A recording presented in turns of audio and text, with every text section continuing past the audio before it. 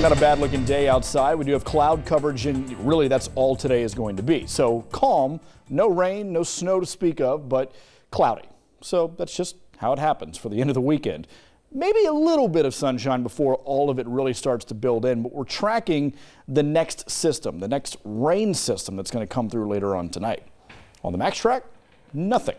At least not as of now, but uh, give it 24 hours and then you'll start to see what we see up north eventually get closer to us. Not the snow, mind you, but the rain that will eventually come with it. In fact, you can see the boundary. This is the warm front portion. This is what passed us yesterday. That's why temperatures are actually going to go up a little bit today despite all of the cloud coverage that's going to be in place. But behind it is an arcing cold front. What that's going to do is kind of lay right over us and just bring in, well, yeah, cloud coverage, but also a few chances for showers. So this is how it's all going to play out. Low is moving away from us, so now we're talking about the rain coming through. And it will be rain. Despite that we're getting cooler air, it's not quite getting down to freezing, at least not yet. So that's why it will be a complete rain event late tonight through most of the day tomorrow. High pressure to the south, another reinforcing cold front is going to dig south, and that's going to come through Tuesday. So that's why temperatures take a pretty big dip middle of the work week. But then high pressure right behind it is what gets here by Wednesday, and it sticks around. And that's good news, especially for the travelers. Getting out late Tuesday, going throughout the day Wednesday and into Thursday, roads are going to be dry. No rain, no snow, nothing to really worry about, at least not in the state of Kentucky. Now, you go further north, you may hit some snow, but for the most part, if you're traveling within the state, or going south, you're going to be just fine coming up for this week for travel.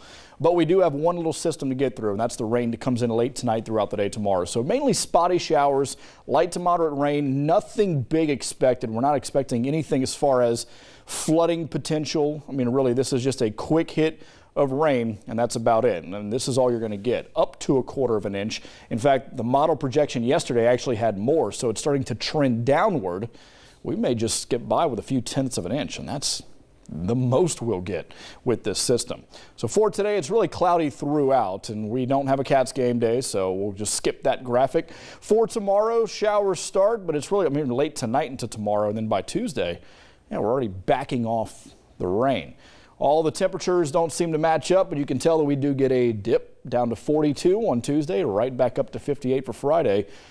So yeah, towards the end of the work week, we don't have a UK game today. I'm still updating the graphics if you haven't noticed that just yet. Overnight tonight, we'll see some cloud coverage. Yes, some rain showers move through, but also a little bit of cloud coverage as well. So for your eight-day forecast, this is what you're left with. You've got one little system to get through before we get to Turkey Day. And yeah, I mean, it's looking great. Just a little bit of rain late tonight, early tomorrow morning. Nothing that we can't handle. Just a few tenths of an inch of rain. And then the cloud coverage starts to decrease. If you're traveling, your best time to do so would be anytime Tuesday into the afternoon because there may be a few morning showers early on Tuesday. But after that point, it all clears out. The clouds start to clear. Wednesday is going to be a fantastic day to get on the roads. And if you have to travel on Thursday, if you're just going a short distance, I mean, temperatures will start out cold. You're going to want a jacket and bundle up. But no, no rain, no precipitation, no snow. That's the most important thing.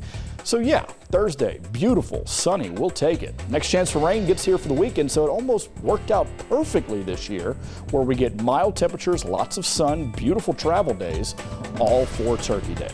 More news after the break.